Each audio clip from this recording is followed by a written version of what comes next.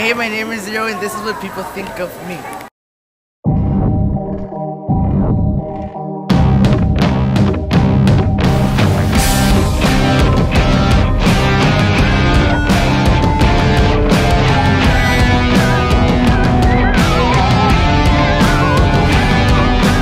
Boys and girls of every Right? He's cool. You know, you know. Yeah, I got nothing. He's awesome.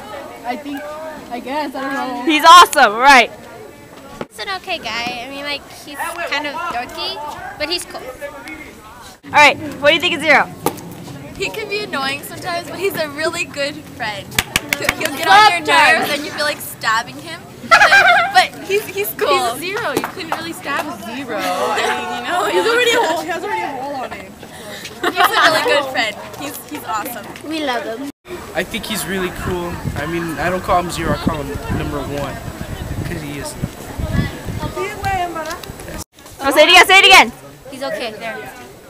Think about him. Okay. But he's mad at me, right? Yes.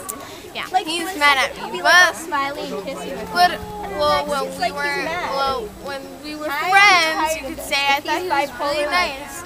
A little bit annoying, but he's a really good person, right? And I thank him for keeping my secret by shoving it on my face. In my face.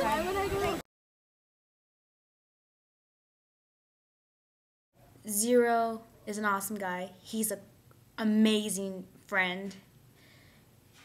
I met him when I was in seventh grade in math class. He is a math genius, and all my friends know this that he is a MySpace freak. He is always on MySpace, but he is awesome. He is the best. He's my best friend. Um, he is really cool, and it's hard to find a friend like that. Really, yeah, he is really awesome. His real name is Al- Alejandro, but we call him Zero. So yeah, his real name is not Zero; it's Alejandro. And he has a profile. I'll I'll put the link somewhere if I can, for you can check out his profile. He has like three videos up, I think. So yeah, uh, Zero, you are the best, and I'm glad to have a friend like you. And all your friends love you.